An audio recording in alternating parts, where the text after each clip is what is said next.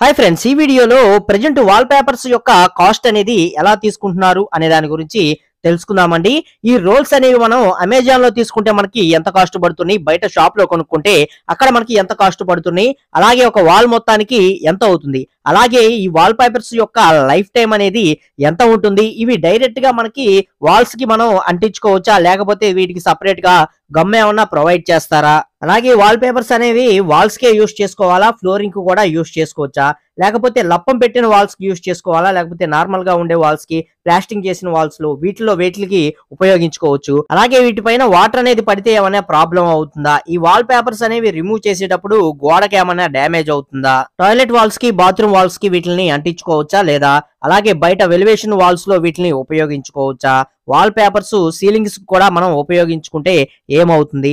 ఇలా వాల్ పేపర్స్కి సంబంధించిన complete information మీకున్న డౌట్స్ అన్ని కూడా ఈ వీడియోలో మీకు క్లియర్ చేస్తానండి. ఈ ఒక్క వీడియో పూర్తిగా చూడండి. మీకు ఉన్న సందేహాలన్నీ కూడా తొలగిపోతాయి అన్నమాట. మీకు ఎటువంటి డౌట్స్ కూడా ఉండవు. అన్ని ప్రశ్నలకి సమాధానం ఈ ఒక్క వీడియోనే. వీడియో అనేది పూర్తిగా చూడండి. అలాగే ఒక లైక్ చేసి సపోర్ట్ అనేది చేయండి. ఒక వీడియో అయితే స్టార్ట్ చేసేద్దాం.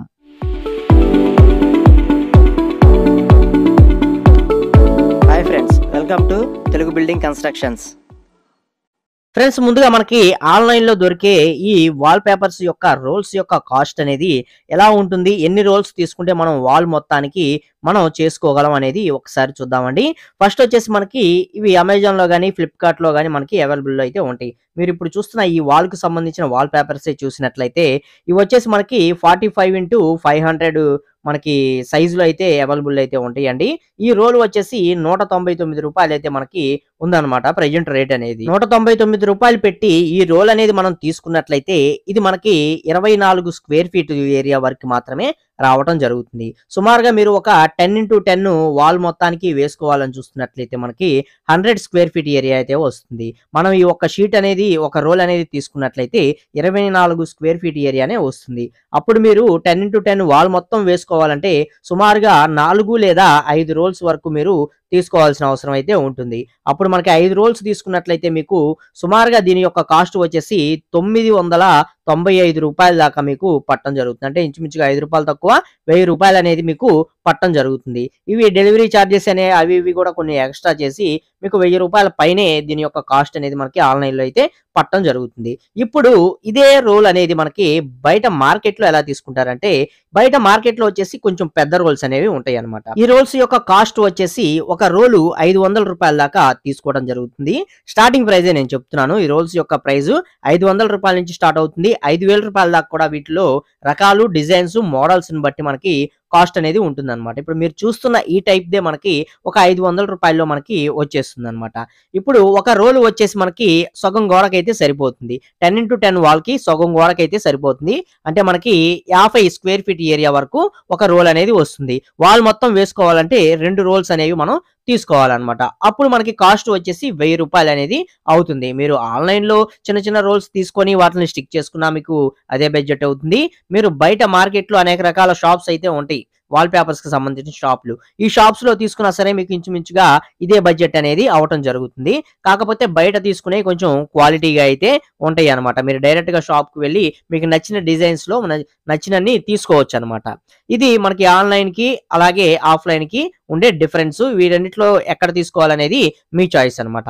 ఇక వీటి యొక్క లైఫ్ అనేది ఎంత ఉంటుందంటే ఇప్పుడు మీరు చూస్తున్న ఈ వాల్కి అంటించిన వాల్ పేపర్స్ సుమారుగా ఐదు సంవత్సరాల క్రితం వేసినాయి అన్నమాట పైన చూసినట్లయితే మనకి అప్పుడు ఎలా వేసామో ఇప్పుడు కూడా అదే విధంగా ఉంది.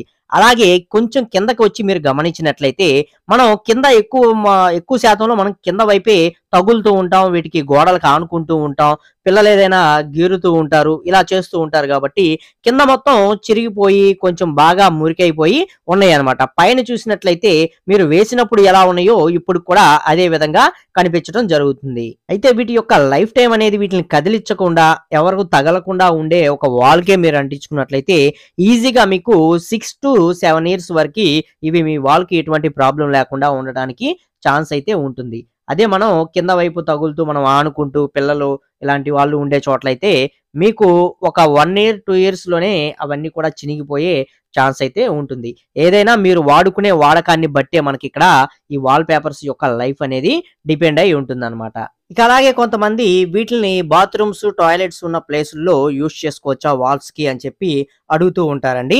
ఇవి వచ్చేసి మనకి వాల్ పేపర్స్ కాబట్టి మనకి బాత్రూమ్లో టాయిలెట్స్లో ఎప్పుడు వాటర్ అనేది మనకి రన్ అవుతూ ఉంటుంది కాబట్టి ఆ ప్లేసుల్లో వీటిని అంటించుకుంటే అక్కడ ఇవి త్వరగా డ్యామేజ్ అవ్వడానికి ఛాన్స్ అయితే ఉంటుంది కాబట్టి వీటిని బాత్రూమ్స్ టాయిలెట్స్లో యూస్ చేయకుండా ఉండటమే మంచిది. అలాగే ఎలివేషన్లో ఎక్స్టీరియర్లో కూడా వీటిని ఉపయోగించుకోవచ్చా? కాంపౌండ్ వాల్స్కి ఆ, గోడలకి ఉపయోగించుకోవచ్చా? అలాగే బయట ఉండే వెలివేషన్ గోడల్లో ఉపయోగించుకోవచ్చా అని చెప్పి కొంతమంది అడుగుతూ ఉంటారు. వెలివేషన్ గోడల్లో కూడా వీటిని ఉపయోగించుకోకూడదండి.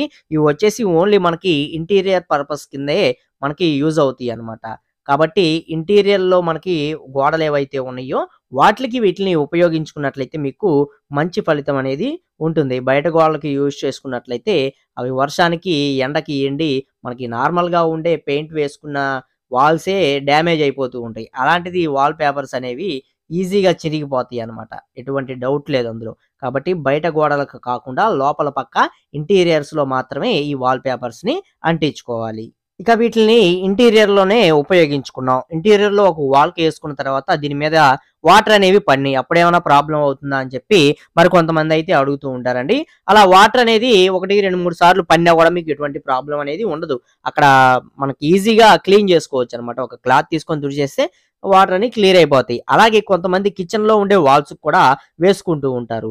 అలాంటి చోట్ల కూడా మనకి ఆయిల్ మార్కులు ఇలాంటివన్నీ కూడా పడుతూ ఉంటాయి. అలాంటివి పడినా కూడా వీటి వల్ల ప్రాబ్లం అనేది ఉండదు. మరకలు పడిన తరువాత ఒక క్లాత్ పెట్టి మనం క్లీన్ చేసుకున్నామంటే ఆ బ్యాక్ సైడ్ ఉన్న మరకలన్నీ కూడా క్లియర్ అయిపోతాయి అన్నమాట. కాబట్టి వీటి మీద వాటర్ అనేది అలాగే ఆయిల్ మార్కులు అనేవి పడితే ఎటువంటి ప్రాబ్లం అనేది ఉండదు ఈ వాల్ పేపర్స్కి. అలాగే మరి కొంతమంది లప్పం పెట్టుకున్న గోడలకే వీటిని వాడాలా లేకపోతే ప్లాస్టింగ్ చేయకుండా కొత్త గోడలు అనేవి కట్టి వదిలేస్తూ ఉంటారు కదా ఇటుక రాయి గోడలు కానీ సిమెంట్ రాయి గోడలు కానీ అలాంటి గోడలకు కంటించుకోవచ్చా అని చెప్పి మరి కొంతమంది అయితే అడుగుతారండి.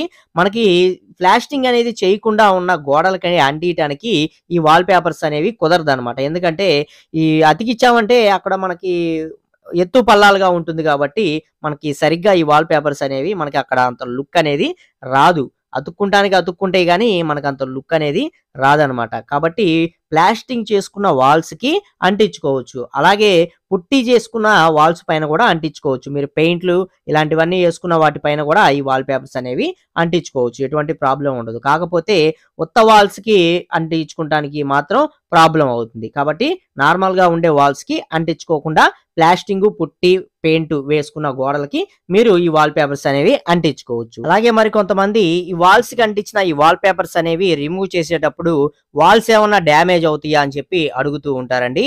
వాల్స్ అనేవి మనకి కొత్తగా కట్టుకున్న బిల్డింగ్స్లో ఉండే వాల్స్ కానీ అలాగే మీరు పైన పుట్టి వేసుకున్నప్పుడు మనకి వాల్స్కు ఉండే ఈ వాల్స్ కానీ వాల్ పేపర్స్ అనేవి రిమూవ్ చేసేటప్పుడు ఆ వాల్స్కి ఎటువంటి డ్యామేజ్ అనేది అవ్వదు అదే అంతకుముందు పాత వాల్స్ అనుకోండి అక్కడ మనం పీకేటప్పుడు కొంచెం పెయింట్ అనేది ఊడి వచ్చే ఛాన్స్ అయితే ఉంటుంది. అలాగే పాత వాల్స్ సున్నం వేసిన వాల్స్ ఇలాంటి వాటికి అంటించినప్పుడు అక్కడ కూడా పీకేటప్పుడు మనకి కొంచెం ఆ పెచ్చులు అనేవి ఊడే ఛాన్స్ అయితే ఉంటుంది. కొత్త వాల్స్కి అయితే ఎటువంటి ప్రాబ్లం అనేది ఉండదు. ఇది కూడా గుర్తు పెట్టుకోండి అలాగే చాలా మందికి ఉండే డౌట్ ఏంటంటే ఈ వాల్ పేపర్స్కి వెనకాల స్టిక్కర్ అనేది వస్తుందేమో అని చెప్పి అనుకుంటూ ఉంటారు. అలా స్టిక్కర్ వచ్చే వాల్ పేపర్స్ అయితే ఇవి కాదండి. వీటి వెనకాల ఎటువంటి స్టిక్కర్ అనేది ఉండదు. జస్ట్ దీని వెనకాల ఒక గమ్ అనేది ఉంటుంది. ఈ గమ్మును పూసుకొని మాత్రమే ఇవి వీటిని వాల్కి మనం ఫిట్ చేసుకోవాలన్నమాట. ఈ గమ్ము వచ్చేసి సుమారుగా రెండు వందల యాభై రూపాయల దాకా ఈ గమ్ము బాటిల్ అనేది ఉంటుంది. ఆ ఒక్క గమ్ము బాటిల్ తోనే మీకు సుమారుగా ఐదు రోల్స్ వరకు కూడా మనం అంటించుకోవచ్చు అన్నమాట. మనకి రెండు వందల యాభై రూపాయలు పెట్టి ఒక గమ్ బాటిల్ అనేది తీసుకున్నారంటే ఐదు రోల్స్ వరకు మీరు అంటించుకోవడానికి సరిపోతుంది. అంటే రెండు వాల్స్కి మీరు అంటించుకోవచ్చు అనమాట టెన్ ఇంటూ టెన్ వాల్స్కి ఇక అందరికి కామన్గా ఉండే డౌట్ ఏంటంటే ఇవి ఎక్కడ దొరుకుతాయండి అని చెప్పి అడుగుతూ ఉంటారండి. ఇవి వచ్చేసి మనకి సిటీస్లో అయితే కన్ఫామ్గా దొరుకుతాయండి. విజయవాడ లేదా తాడేపల్లిగూడెం ఐఆర్ మార్ట్ ఉంది. అలాంటి చోట్ల దొరుకుతాయి. అలాగే మనకి హైదరాబాద్. ఇలా ప్రతి చోట సిటీస్ అనేవి ఎక్కడైతే ఉంటాయో ఈ సిటీస్లో షాప్స్ అనేవి ఉంటాయి. ఆ షాప్స్లో దొరుకుతాయి. లేదా హార్డ్వేర్ షాప్స్ అనేవి కంపల్సరీ ప్రతి సిటీస్లో అయితే ఉంటాయి కాబట్టి ఆ హార్డ్వేర్ షాప్స్లో మీరు కనుక్కున్నారంటే ఈ వాల్ పేపర్స్ మీకు ఖచ్చితంగా దొరికే ఛాన్స్ అయితే ఉంటుందన్నమాట. లేదు మేము ఆన్‌లైన్‌లో తీసుకుంటామండి అనే పని అయితే ఆన్‌లైన్‌లో కూడా మీకు ఇవి అవైలబుల్ అయితే ఉంటాయి. ఫ్లిప్‌కార్ట్, అమెజాన్‌లో అవైలబుల్‌లో ఉంది కాకపోతే అక్కడ మీరు సైజ్ అనేది చూసి తీసుకోండి. మీకు చిన్న సైజులో తీసుకున్నారంటే అక్కడ మీరు పీసులనేవి ఎక్కువ తీసుకోవాల్సిన అవసరం అయితే ఉంటుంది. కాబట్టి చూసి జాగ్రత్తగా తీసుకోండి. సో ఈ వీడియోలోని ఇన్ఫర్మేషన్ మీకు నచ్చింది, యూజ్ అవుతుంది అనుకున్నట్లయితే తప్పకుండా ఒక లైక్ చేసి సపోర్ట్ చేయండి. అలాగే ఫస్ట్ టైం మన ఛానల్ చూస్తున్నట్లయితే సబ్స్క్రైబ్ చేసుకోండి. అలాగే ఆల్రెడీ సబ్స్క్రైబ్ చేసుకున్న వాళ్ళైతే ఒకసారి మీ యొక్క బెల్ ఐకాన్ అనేది ఆల్‌లో ఉందో లేదో చూసుకోండి. ఎందుకంటే ఈ మధ్య మనం చేసే వీడియోస్ అన్ని అందరికీ అయితే రీచ్ అవ్వట్లేదండి. కారణం ఏంటని చూస్తే వేరే వేరే ఫోన్‌లో చూసినట్లయితే నోటిఫికేషన్స్ అనేవి ఆఫ్‌లో పడిపోయి ఉన్నాయి. ఒకసారి అది మీరు ఆల్‌లో పెట్టుకున్నట్లయితే మనం పెట్టే ప్రతి వీడియో అనేది నోటిఫికేషన్ అనేది మీకు వస్తుంది వీడియో చూసారంటే మీరు మీ ఇల్లు కట్టుకోవటంలో ఎంతో కొంత వీడియోస్‌లోని ఇన్ఫర్మేషన్ అనేది మీకు ఉపయోగపడుతుందని చెప్పి నేనైతే భావిస్తున్నాను. ఓకే. మరొక వీడియోలో అయితే కలుసుకుందామండి. Okay. Thank you for watching guys.